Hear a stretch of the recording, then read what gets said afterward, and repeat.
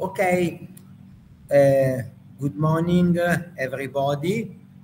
First of all, I wish uh, to thank uh, the University of Saragossa and uh, my friend uh, Professor Martinez Jarreta for inviting me to give this lecture. Uh, my name is Claudio Colosio. I am professor of occupational health at the University of Milano and I want to talk with you about occupational diseases reporting, diagnosis, and lists. And uh, in particular, I'd like to bring to you the experience I had with the conduction of uh, the big working group who prepared a book who now finally has been published. It took uh, about 10 years work on diagnosis and prevention of the occupational diseases listed in the new ILO list of occupational diseases. So uh, here uh, my affiliation, University of Milan and Hospital Santi Paolo Carlo of Milano, and we are a WHO collaborating center for occupational health. I want uh, to discuss with you regarding the burden of occupational diseases, giving you some uh, numbers, wondering whether the numbers are robust enough, and I will show you some affecting the quality of the data on which we rely. I will discuss the need of defining diagnostic and exposure criteria, and I will introduce you our book. Then, of course, I will be available for any question you might have for me. So the starting point is that uh, occupational diseases um, are, according to ILO, any disease contracted as a result of an exposure to risk factors arising from work activity. Earlier, the definition was similar. Disease is known to arise out of the exposure to substances and dangerous conditions in process, trades, and occupations. Very similar. Uh, the most important starting point is that occupational diseases, like infectious diseases, are identified by two components. That is the clinical manifestation and the presence of an external causal agent. This is similar uh, to what uh, we can see, for example, for exposure to infectious diseases and open a very important uh point for our discussion that is that any disease caused by an external agent can be addressed by coping strategies and therefore is avoidable. Therefore, in the perfect uh, scenario, the number, the total number of occupational diseases should be zero. But unfortunately, this is not the case. Uh, here you can see the ILO global estimates of work-related accidents and diseases for 2017, and you can see that uh, we have in the world more than uh, 380,000 fatal accidents, 2.4 million work-related diseases uh, fatalities, and 374 million or of accidents causing absence of four or more days. The total deaths due to work-related accident and disease is more than 2000, uh, 2 million and 700,000. This is a big number. This is a book where I collect this data. For the burden of occupational diseases due uh, to this uh, condition, you can see on the left the global estimate, on the right the European Union of the 28 estimate. This was when UK was still part of European Union. And you can see that the number are impressive, 1,200 billion of uh, uh, non-fatal cases, 1,400 billion fatal cases in the world and 260 uh, billion and 260 billion respectively for non-fatal and fatal in Europe, uh, which are the causes of uh, diseases. You can see here some data, recent data regarding the burden of occupational diseases in uh, the world, and you can see that uh, burden varies according to different areas of the world. It seems that Asia uh, is uh, uh, at the top, but also Europe is not, of course, free of diseases. And you can see that pneumoconic dust, carcinogenic substance uh, are leading cause of uh, disease. Here you can see other data regarding the type of risk factor and you can see for example the weight of ergonomic risk factors noise dust in the different areas of the world. And again east and south asia are uh, the leading country but these are raw numbers. Therefore of course are the leading countries of uh, burden of disease because uh, they have uh, the biggest number of inhabitants of the world and here something i want you to think about since we are in Europe, Spain is Europe, Italy is Europe. So please, I want to draw your attention to a data I want you to think about. That is that three countries with a similar size, a similar economic development, a similar economy have very different numbers. For example, here you can see France.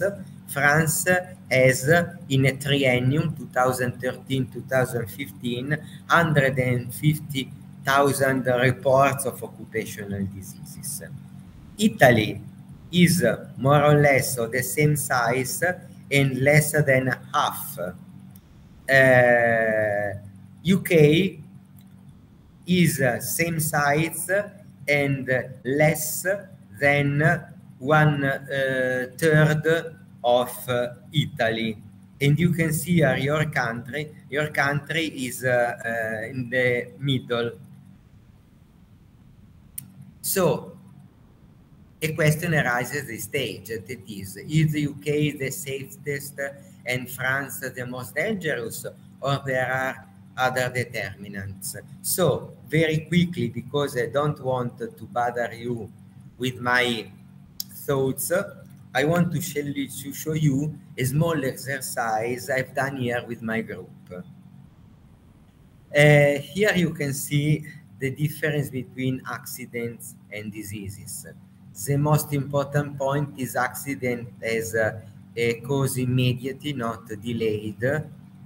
Um, fatalities are recorded and uh, official recording is uh, available uh, will diseases uh, for diseases this is uh, more complicated but uh, here you can see something on which you can thought that is uh, a small country that is barbados medium country that is sweden big country that is usa and then asia south america and former soviet union. You can see the number for example the uh, percentage of uh, fatalities for occupational diseases in Barbados is more than uh, 21 per uh, the total number per 10,000 uh, whilst in Sweden is very very small smaller than here and in USA it is smaller than in Sweden. Here the number in other country, but I don't want to bother you with the details. I will give to my friend Begoña Martinez the, the data and you can, uh, in case, uh, have a look and in case you can write me and tell me what you think. But it seems that if we try to do something like a normalization. Normalization means we can do an estimate based on the uh, working population, the gross internal product, and we can uh, uh, get a uh, indicator that we have called income normalized rate of occupational accidents, here you will see, or income normalized rate of occupational diseases. Okay, so we introduce the number of the population, the number of workers, and the income. And here, uh, very interesting uh, results for what concerns uh, accidents.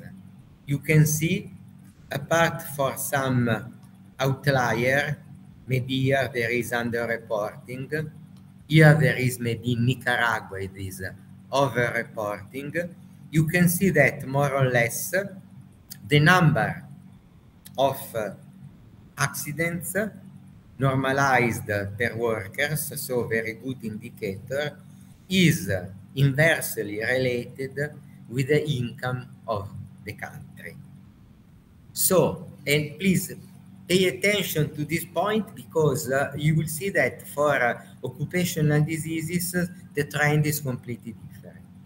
So, a, a decreasing rate with increasing national uh, income uh, is reasonable because maybe that richer countries can afford better working conditions and more dangerous products production are shifted to less developed countries with less stringent regulation. Uh, nevertheless, a large span is between countries with a comparable uh, condition for income, showing that maybe local regulations and habits may impact on uh, this uh, point. Now we go to the next slide. The human cost of national wealth and the income normalized rate of occupational disease. So again, our approach took in consideration the number of occupational diseases per working population, the uh, number of reported cases of a proxy for compensated case. You know that in several countries, compensation is a process which is uh, uh, which follow uh, notification. So usually reported occupational diseases are uh, more than uh, compensated, but this number of compensated can vary over time, so it is very difficult to get a good estimate.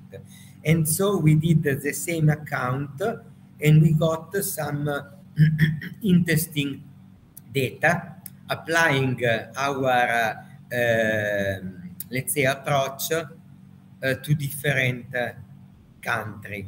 Here is, for example, Colombia. here is Benin, for example. here is Sudan.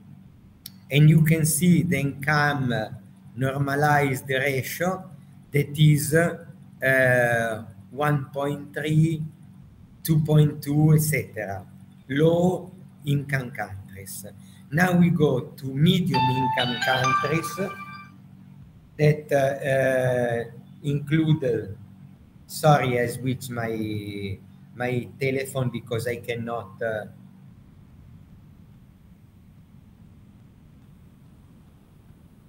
I forgot. Uh, you can see different numbers, public republics of China, Argentina, Poland, Colombia.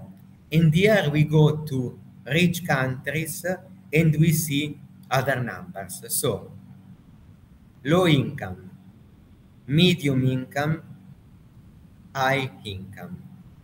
What can we see here? It looks like that differing from occupational accidents, the number of occupational diseases is uh, directly correlated with the income. That is, high income countries, high rate of reporting. Medium income countries are here, and poor countries are here. Uh, I cannot uh, spend a lot of time on describing exactly our calculation, but I think that this slide is self-explaining. And there is another point we have to discuss that uh, is uh, the starting point of my presentation to you from Eurostat data, that is in the frame of rich countries, there are big variation in reporting. The same in the frame of medium income countries is different from Argentina and Public Republic of China. And even if in poor country, the problem is uh, similar. This is uh, normalized per workers, uh, normalized per raw internal product, and normalized per 10,000 US dollars income. Okay, so why this important finding? Uh, if you go to watch the list of occupational diseases available in different countries, you can see that the number of diseases varies significantly. The country with uh, of European Union with less diseases in the list has less than 40. The country with the highest number is French. They have more than uh, 100 uh, groups of several diseases per group. So if you have a big list, a well-done list, reporting is uh, better. Uh, but why these differences in list? At the basis of the decision of having a list of one time instead of another type, there is also an economical decision. That is, if I put a lot of diseases in the list, I will have a lot of report of occupational diseases and I will have more diseases to be compensated. Okay, so maybe in this way you can read this data. Okay, if you are rich, you can keep under control the occupational accident, both because you throw send away the most dangerous productions and spend a lot in the frame of safety uh, measures. Uh, whilst if you are rich, you can afford a big number of compensation of occupational diseases, and then you can have a list a little bit bigger than other list. I really uh, don't know exactly because I didn't have enough time to do a deep evaluation where Spain is uh, allocated on this data, but I want to tell you that for some aspect, uh, what I can collect, could collect for Spain is not uh, enough. So we can have uh, maybe better data from uh, this country. Where you can find the data? Here, you can do your Zoom in a well-defined group of country. You can check occupational disease in the European Union. You can go in Eurostat and you can get your statistical data. I want to tell you that I'm very proud to be a part of the task force of Eurostat for occupational diseases. I'm working with them since uh, three years and it has been a very nice experience and in this experience I found also very important source of data of data. So you can see for example then as far as I could understand Spain and Portugal uh, have uh, good criteria in their site but not statistics reported for the time being. So this is a, a, small problem I want to bring to your attention because today you are in Spain and it is good to discuss with you the situation of Spain and maybe Portugal. Are, they are your neighborhood. They are very similar also from a language point of view. This is the, trend of occupational diseases in European Union, and uh, uh, you can see number numbers which uh, vary a lot. You can compare, for example, uh, France with Bulgaria, with Malta. Mixed list and open means that they have a list of occupational diseases, but they compensate also diseases which are not in the list for those occupational origin can be demonstrated. Uh, list means that uh, only the list is adopted and it is a closed list. Open means that any reporter disease is uh acknowledged based on the sort of uh, litigation. Uh, large heterogeneity in the number, okay? This is my main message. I don't want to discuss user quality of the numbers. I want only to underline the uh, important lack of homogeneity. And uh, uh, by why? Uh, because, uh, for example, there is a problem of normalizing uh, for a working fraction of total population, that is the total group of risk, the effects of informal work, which in some of um, our European countries are very well represented, whilst in other countries less. And then the problem of different working compartment. For example, in Italy, I perfectly remind, remind, remember when I was a child, there was production, there was production of uh, goods, blue collar were very important in my town, Milan. Now uh, all production are uh, out of the country, so the production uh, uh, modalities has deeply changed over time. Here you can see a, another uh, aspect that is uh, a sort of normalization per number of workers. This helps in better understanding the numbers, but again, you can see that in some country the number is very slow and in some other countries the number is very big. I remind you the problem of the list is a problem of money I uh, discussed with you. Uh, here, um, again, uh, the uh, estimate used with the INROD, that is the income normalized rate of occupational diseases. This is something that we are invented but this helps because if, if it is normalized per workers and normalized for income, so it is a strong indicator. And here you can see again France is a leading country for reporting, followed by Italy, and uh, uh, followed but far from Belgium, etc.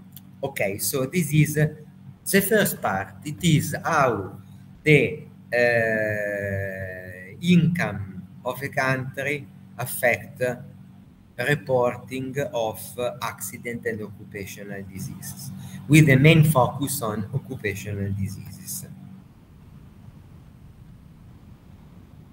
Okay, we continue, but uh, I want I don't want to take your time because um, in my today's lecture I want to tell you just uh, the hotspots.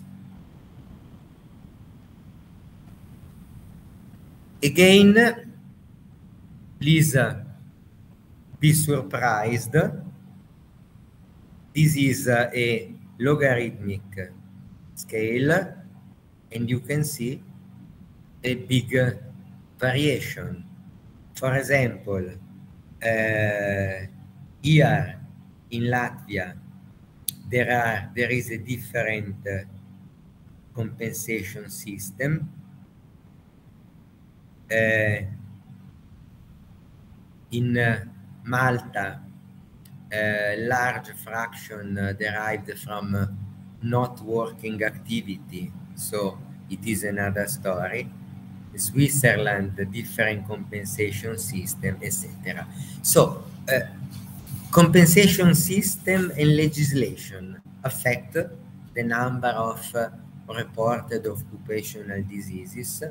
Yes, you will see, but now uh, we have to think uh, at this point, that is, based on the data I show you, uh, the income, the internal product of uh, a country is not the sole, maybe not the main, but maybe the main determinant. Uh, what else you have to think about? Uh, wealthier countries can afford richer compensation through more comprehensive list of occupational diseases, or maybe a socio-political environment is favorable to worker compensation, or maybe minimum income is sustained by affording wider compensation.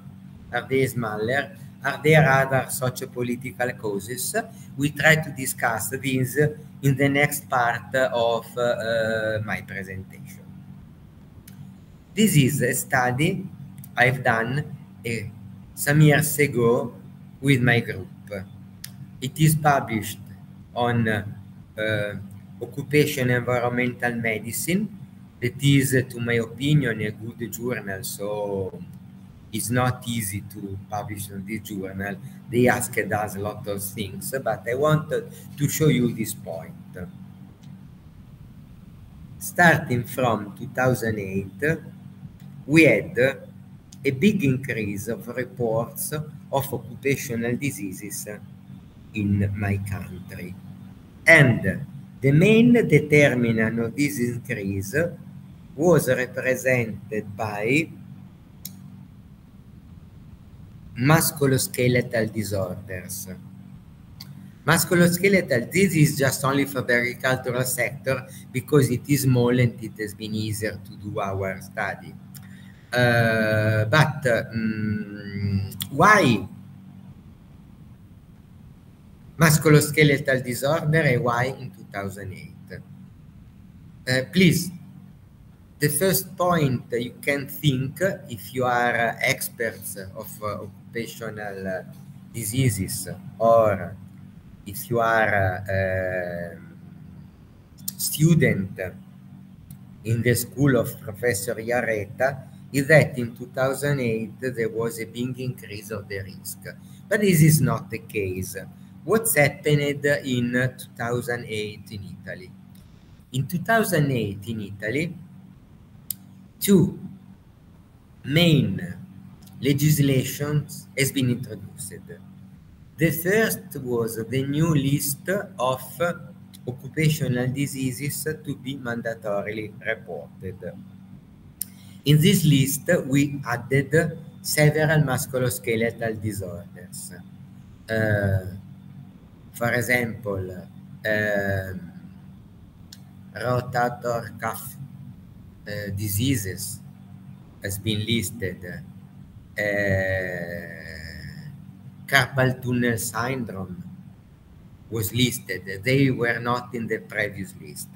And the second point is that in 2008, we had in Italy a new legislation on occupational uh, surveillance, medical surveillance at the workplace. And uh, other categories of workers were introduced in the list of those who mandatorily should get occupational health at the workplace. So, this increase is not the effect of a worsening of conditions, but is the effect of legislation intervention which uh, in, uh, made the frame more favorable to the reporting of uh, occupational diseases. So all the diseases which up to 2008 were hidden, so were reported. The reports you see here are diseases still existing in 2008 but never reported. So here you can see the effect of uh, the emerging of the hidden occupational diseases. Okay, and uh, this is confirmed also by the, the decrease of the peak. Why the decrease? Because if, uh, if you have a number of non-reported diseases, you report, report, report, you reach a peak and then the number decreases because the unreported diseases are lower and lower. So we think that very uh, soon will we go down. We will go down, but not here, unfortunately. We remain more or less here because uh, new occupational diseases, unfortunately, are still reported in my country. So, the second consideration, I have uh, made some thoughts uh, at the beginning, is that this is also matter of health surveillance and lists. And uh, don't forget that the main tool available to make diagnosis of occupational diseases are the lists. As I told you, there is a big variability of lists among countries, structure, number of items, presence uh, or not of open items. That is, disease is not present in the list, but those occupational origin is demonstrated, can be compensated. And very important point, at the basis of the list, there are criteria. No list can exist without criteria. And so I want to remind you that in 2011 ILO, after the tripartite meeting where the new list of occupational diseases were approved, appointed a working group with the task of defining agreed diagnostic and exposure criteria, which is the basis. Uh, so, before telling you which is the basis, I want to tell you that uh, the diagnosis of occupational diseases is an administrative decision. Think at this point.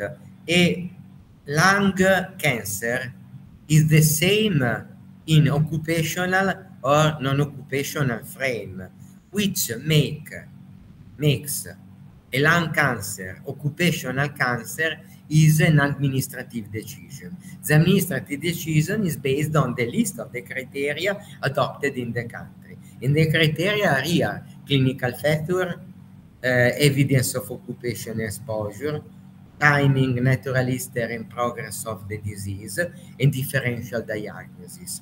And additional information is made of minimum intensity of exposure, that is below a specific exposure, no diagnosis, etiological diagnosis possible, minimum duration, that is below minimum duration, diagnosis cannot be made, maximum latent period, which varies, for example, from tumor and uh, acute disease, of course, a minimum induction period, that is a minimum period necessary to raise a diagnosis. These are the basis to create criteria for the diagnosis of an occupational diseases, uh, which is an entity which periodically publish lists of occupational diseases.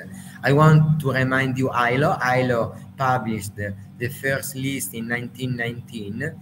It was very easy list, only one item, uh, no, sorry, two items, anthrax and lead poisoning were present.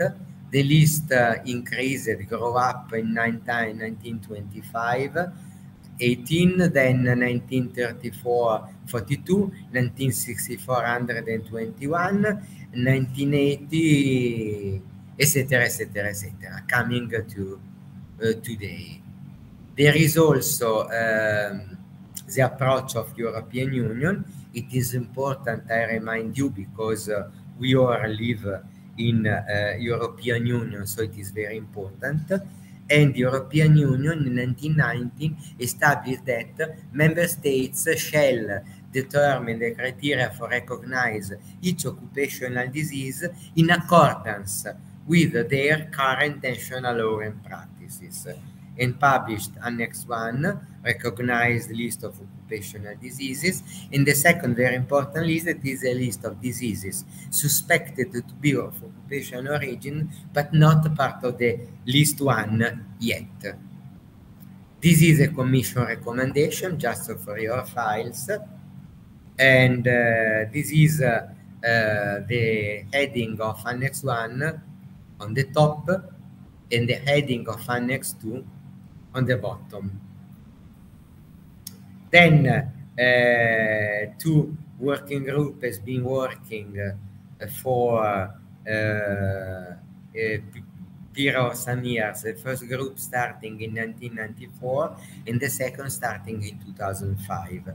Completed the job in 2009. I want to say that I'm very proud because I was a member of both these groups and this make me worried because it clearly show that uh, I'm getting old, dear all. Because if I was so active in 1994, this means that I'm getting old. A big working group was uh, organized. Uh, the working group was made by a core group of experts who used uh, to meet uh, in in uh, Luxembourg four, five, even six times per year. This is a core group. The core group used to have satellite experts uh, linked, and each satellite expert used to have a link with its her own institution. So this is uh, the way we did the job. And at the end, we published this book. I don't know if you have. If uh, you need it uh, at the end of the meeting, I will send to your professor Begoña Martinez Jarreta. And uh, in information notices on diagnosis on occupational diseases, a guide to diagnosis, we published in an official European Union uh, book the criteria for the diagnosis of the diseases listed in the European Union list. This is uh, the summary of the book. Summary of the book. And uh, uh, of course, there was a definition of the agent, toxic effect, and very important exposure criteria, quantitative criteria for disease causing exposure. Then, uh, some years later, we had the approval of the new ILO list of occupational diseases and as a, a follow-up of this list revised in 2010, in 2011 we had the task of preparing this book, Diagnostic and Exposure Criteria for Occupational Diseases, official ILO publication, uh, which is edited by Shengli Niu, that is our boss in ILO. Myself, I was the coordinator of the working group. Michele Carugno and Anila Adises, we were part of the working group. And this is the book. I'm very proud of it, 650 pages. Here the link to download it free of charge. A list of 97 agents and diseases, 40 classes of chemical agents, 6 classes of physical agents, 8 biological, infective, and parasitic agents, 23 occupational disease by organ, uh, including one mental disorder, which is something new for um, ILO for also the world, because the European Union list, we don't have mental disorder. Just to let you know, the mental disorder we accepted in the list is post-traumatic stress disorder. Then we have 20 occupational carcinogen and uh, an open items list for each class. That is, at the end of the list, it is written any hmm. other disease, even if not listed in this book, whose occupational origin can be demonstrated.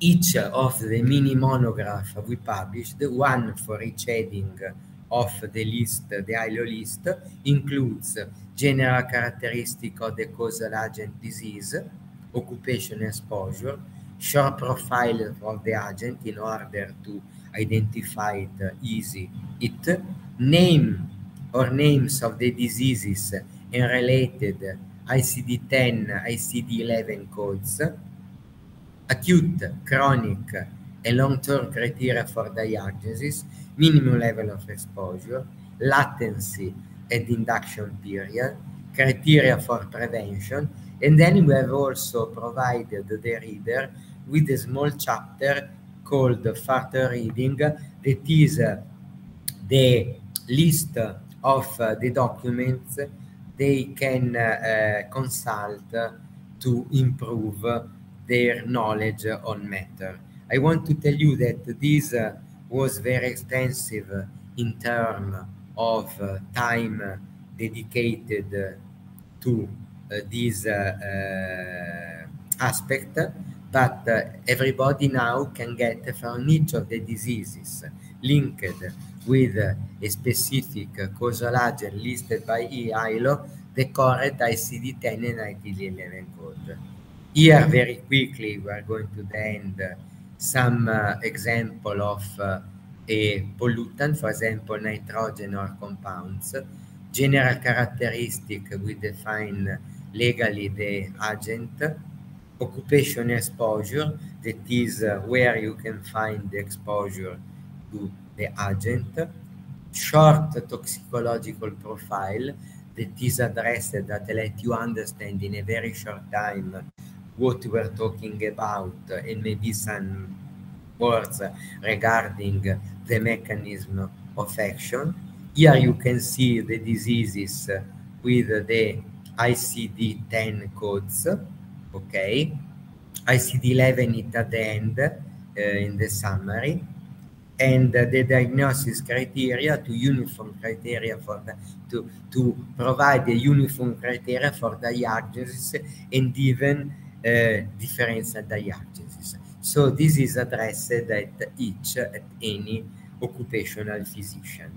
So uh, where are we now we are really very proud for having published the book, the ILO book.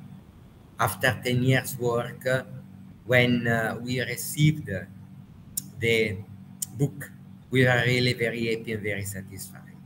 The second is to link this ILO activity with ICD-11, which, by the way, is a new and novel classification which is not to be thought as a book, but a package, because you can have a dialogue with ICD-11. You can enter per disease, you can enter per causal agent, you can find text on the diseases, and this really is a unique tool to harmonize diagnosis and uh, reporting of occupational diseases in the world and for some aspect uh, even uh, prevention. Um, here, I don't want to spend more time because it is the same in organic pollutants. This is a chapter that has been asked us by the representative of workers that is a small chapter on key action for prevention. When the representative of workers asked us this, we understood that uh, a book like that must have this uh, chapter. So, we've discussed regarding occupational diseases. We've discussed regarding uh, reporting and factors affecting reporting. We've decided that apart for economic uh, conditions, and for quality of the list, it is important to have strong criteria for diagnosis. Uh, criterion list change over time on developmental knowledge and socioeconomic changes. And this is the frame where we are now. So, the time allotted is over. I want to remind you that uh, the book is a product of, a cooperative effort of volunteering scientists. A main, all main geographic areas of the world were represented. The product is available in digital form. You can download it without uh, any cost and really I think it can really help the harmonization approach to recognition, diagnosis, prevention, and compensation of occupational disease. And now, really, I close 45 minutes. I want to thank you very much for your attention and again for inviting me to give this lecture.